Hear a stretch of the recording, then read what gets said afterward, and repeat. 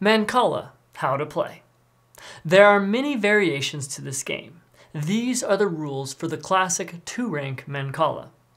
The object of the game is to capture the most stones. Setup.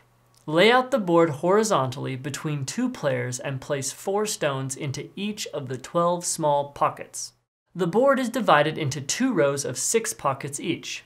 Each player controls the six pockets on the side closest to them. The two larger pockets are called mancalas. Each player owns the mancala to the right of their row. Pick a player to go first.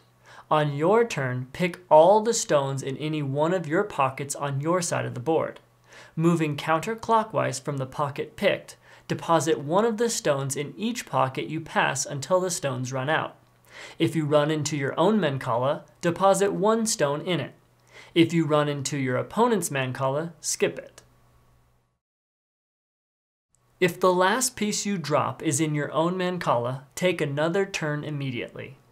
If the last piece you drop is in an empty pocket on your side of the board, you capture that piece and any piece in the hole directly opposite it. Always place all captured pieces in your Mancala. The game ends when all six spaces on one side of the board are empty.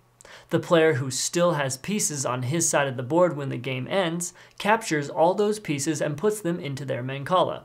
Count all the pieces in each Mancala. The player with the most pieces wins.